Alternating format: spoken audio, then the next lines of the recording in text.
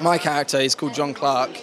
He's uh, he's this very kind of um, he's a bit of a recluse, to be honest. Um, he's a young boy. He's at school. He's, he's not getting on with his friends, and he meets this character called Matt, and they they become really close.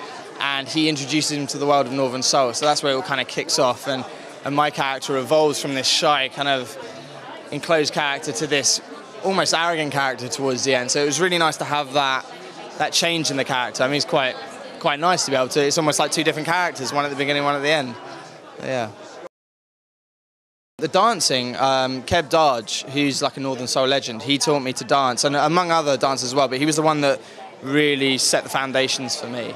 Um, yeah, he his teaching methods are mad, but they worked, and it, it was really hard work.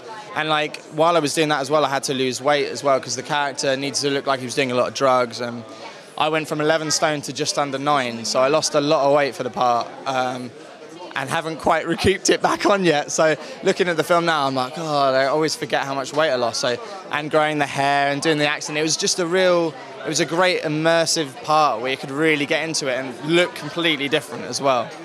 Yeah. Northern Soul is, uh, I mean, because I had no idea what it was about. I, I'd heard some of the music, but I didn't realise that what it's that's what it was.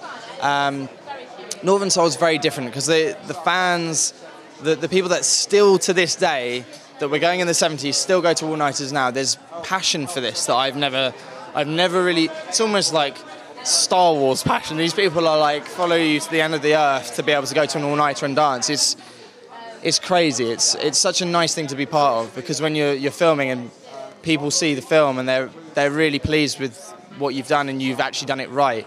And that was one of the things Elaine was very scared about. Um, I mean, she knows everything about Northern Soul backwards, but actually getting it right and the fans thinking it was right as well was very important and, and getting it bang on really.